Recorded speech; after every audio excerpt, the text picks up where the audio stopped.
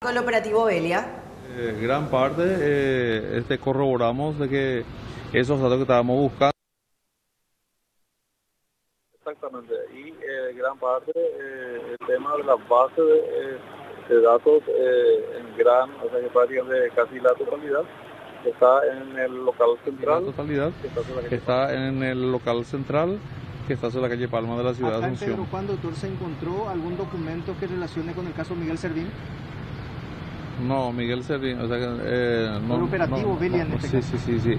No, eh, yo no puedo hablar del tema de los detalles, solamente puedo hablar de esa manera porque lo que estoy haciendo es eh, coadyuvar con la tarea de los fiscales titulares que están este, llevando adelante el tema del trabajo de eh, investigación acerca del lavado de dinero. O sea, que ¿Pero se encontraron algún documento? Eh, levantamos, levantamos todas las evidencias, eh, documentos, eh, incluso reconocimiento de re- reconocimiento de deudas de, eh, por eh, sumas millonarias de dólares, eh, tanto del presidente de, de esta, de, esta, de esta casa, ¿verdad? ¿De Pero la casa de cambio, eh, no tendría a mano en este momento, Aranda creo que es el apellido, en este momento hemos logrado totalmente en, en el tema del acta, eh, no quiero todavía, porque muchas veces nosotros pasamos ya datos, fotos, ¿verdad? Y este solamente es, es incipiente, es incipiente la investigación y ya nosotros le presentamos, ¿verdad? Como autores de un hecho punible que todavía estamos empezando la, in- la investigación. ¿Cuál es la función, por ejemplo, de la casa de cambio en ese sentido, doctor? Sobre todas las cosas, es lo que querríamos nosotros y lo que hemos, eh, pues para eso hemos venido y lo que se nos ha enviado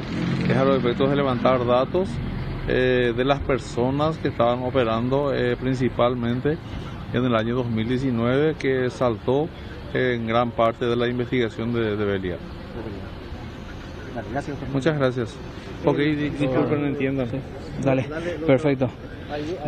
Se comprende también lo que acaba de mencionar el agente fiscal encargado de, de este procedimiento llevado a cabo aquí en Pedro Juan Caballero. Eh, encontraron algunos elementos, algunos documentos que fueron incautados y que serán procesados por el equipo investigador, eh, decía Osvaldo García. Bien, gracias Gilberto. Quedamos atentos con esta situación operativo en curso, Jenny, y esto tiene que ver con el operativo Belia que ya había iniciado antes, en consecuencia de ese operativo. La intención es poder dar seguimiento a una estructura criminal que llevaba cocaína en contenedores. Exactamente, y ahora se está haciendo eh, también esta, se están haciendo estas intervenciones eh, buscando documentación concreta, especialmente en estas casas de cambio. Precisamente aquí en Asunción ya nos acompaña también con esta información Claudio Genes, te escuchamos. Asimismo, nosotros nos encontramos sobre la calle Senador Long, casi Mariscal López, específicamente frente a esta casa de cambio Panorama.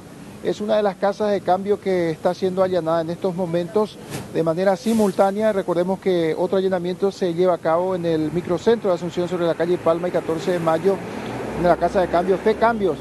Y acá estamos hablando de Panorama Cambios SA. En este lugar se encuentra el fiscal Isaac Ferreira, quien encabeza este procedimiento en el marco del operativo Belia, que investiga al crimen organizado, específicamente al tráfico de drogas, de cocaína hacia puertos europeos. Recordará la audiencia aquel cargamento importante de cocaína en carbones, ocultos en carbones, que cayó en Bélgica, donde aparece el nombre de Cristian Turrini como uno de los principales responsables de ese cargamento. Él forma parte, según los datos que maneja la Fiscalía, según los datos que maneja el Servicio de Inteligencia de la Senat, forma parte de esta estructura criminal liderada por Miguel Ángel Servián, Isfran, mejor dicho, alias Miguel Celular, forma parte de toda una estructura, es lo que se investiga a través de este operativo Belia que inició ya hace dos años y prosigue con estos allanamientos en estas casas de cambio que sirven para el lavado de dinero, del dinero sucio, del dinero eh, del producto del narcotráfico, se lavan según las informaciones que se manejan a través de estas casas de cambio, en este caso Panorama Cambios y Fe Cambios. Es otro lugar que está siendo allanado en estos momentos por el Ministerio Público con el acompañamiento de agentes de la Senat. Nosotros estamos aguardando que concluya este procedimiento fiscal y vamos a tratar de obtener mayores informaciones con el fiscal que lleva a cabo este procedimiento. Estamos hablando del fiscal Isaac Ferreira. Bien, gracias Claudio. En el contexto del operativo Belía, en su momento se habían hecho incautaciones de varios elementos, lujosos vehículos, hubo detenidos importantes y vamos a tener en cuenta esto porque al cabecilla con el que se quiere lograr dar la detención es con Miguel Ángel Servín, que es líder de la organización. Habían quedado detenidas otras personas también en su momento que habían tenido incluso un compurgamiento de la pena mínima. Liz Catherine Laila es una de ellas, esposa de Servín. Bruna Regina Martins también estaba involucrada, ella es brasileña, actual pareja de Servín.